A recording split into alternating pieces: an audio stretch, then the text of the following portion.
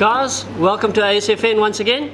I'm doing a long distance casting bait, uh, basically for diamond sandies, um, any of your flatfish. Very simple. I'm using today a tennis racket string trace with a dangle. I'm just going to sort all of this out. It's a little bit of a tangulation here. There's my dangle, which is made out of number 15 wire. Obviously tuna circle, nano. Okay, what we require for that, dangle puller, very, very important. Sharp knife, thick latex cotton, and a bit of a chokka hammer. Optional. And of course, our dangle.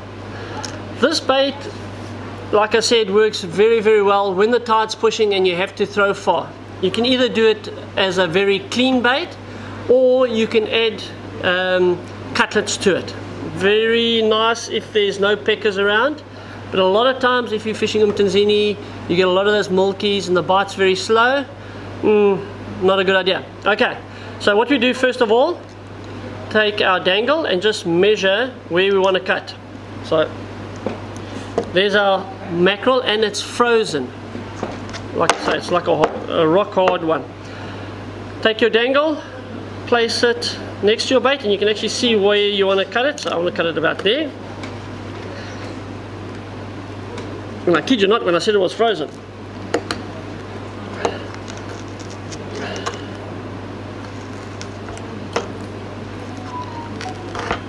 Okay. Very nice. Okay. Now all I'm going to do is just shape it. And like I said, like I said, it's basically for frozen baits and it's a long distance casting bait. So you want to try and get as much aerodynamics in it as possible. So we go like that, just to cut it.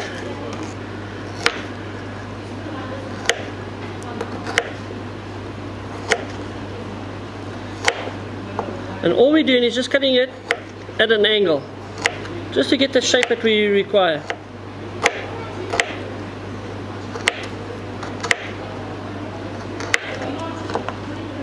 Okay, so that's basically what we're trying to achieve. Okay, now we just measure it once again to make sure that we're going to get the right size. So that's the length I want it to be. I don't want it to be too big, so I'm going to go just before the eyes over here.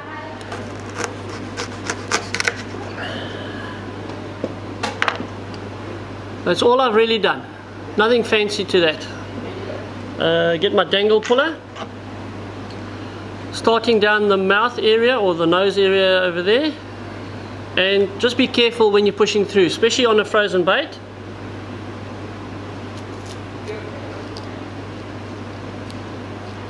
Just work it work it work it. And it should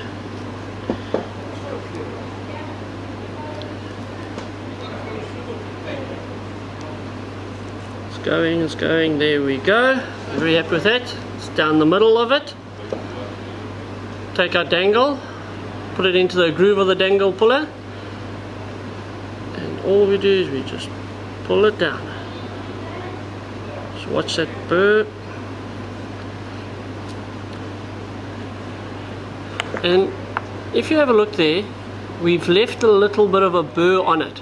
What that does is stop any of the flat fish raggies, whatever it is that you're fishing for. Not necessarily raggies because uh, the trace is not designed for raggies, but any of those flat fish that you're looking for that might pull it off. So you, what happens is you get that pull down, circle hook, tighten up, oh, it let go. You're not too sure whether he's pulled your bait off or not. With that there, it literally doesn't come off.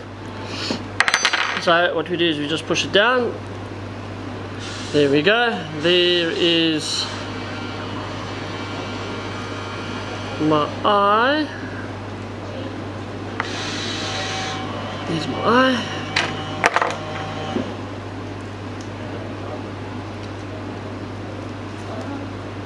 I just can't find it. I've lost it, I've lost it, I've lost it. Oh, there it is. Okay. So now all I'm going to do just take my circle lock.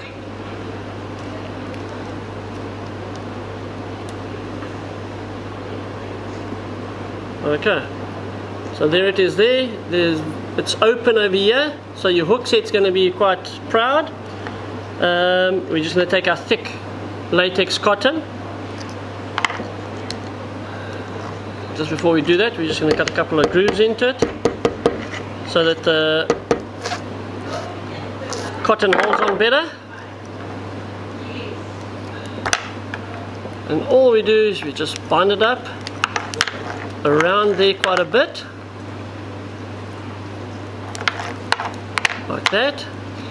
And we're going to do a couple of strips around it this way. Just to keep it in place.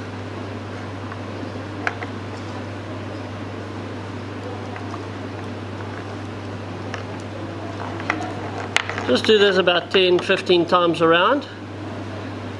It'll stop the dangle from coming off. And as this bait defrosts, the latex cotton, and like I said, this is the thick latex cotton, actually pulls tight onto the actual bait and releases a lot of that blood and oil in it. And that's pretty much the bait that you would throw if you wanted to throw it quite far. You can add cutlets to it um, if you want to make a more juicy, smellier bait. Um, it does attract the smaller fish. To do that, very simple. I'll just show you quickly. What we do is we just cut it at a slight angle.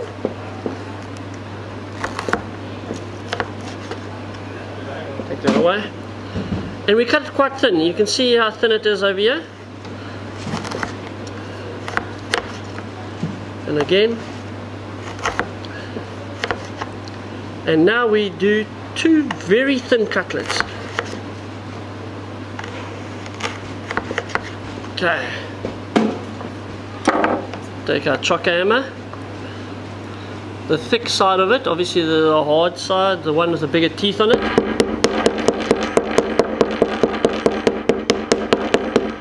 Just soften it up. And remember these are frozen baits that we're doing today.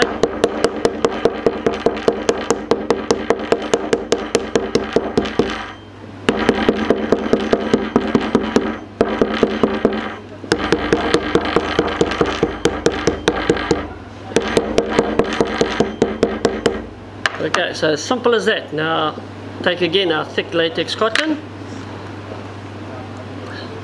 just add it to the side of our bait.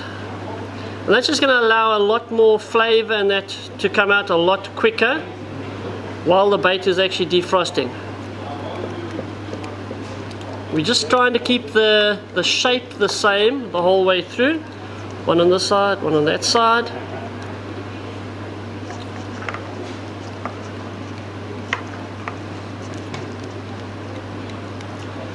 And don't be afraid of cotton with this bait. The more cotton, the better it actually works because it actually pulls the bait as it defrosts. It pushes out all the smell and flavor. And the fish that you're fishing for are generally quite big, so they're not too fussy.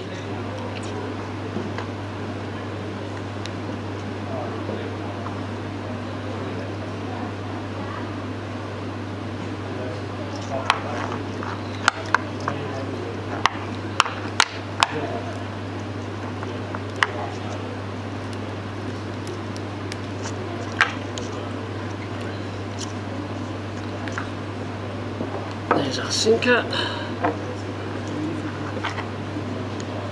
There's our trace. And there we go guys. There's a lovely summer fish bait and trace all made ready to throw long distance